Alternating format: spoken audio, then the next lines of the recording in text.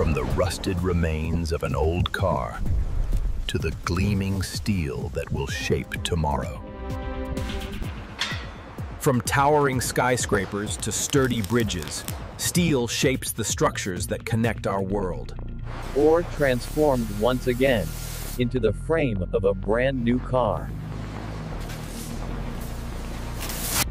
From local plants to a global network, recycling powers industries across the world.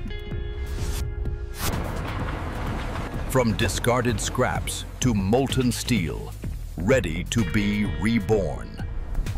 For a world built from today's recycled steel, ready to power tomorrow. Old cars reborn, fueling the industries that keep our world moving. Old cars reborn, fueling the industries that keep our world moving.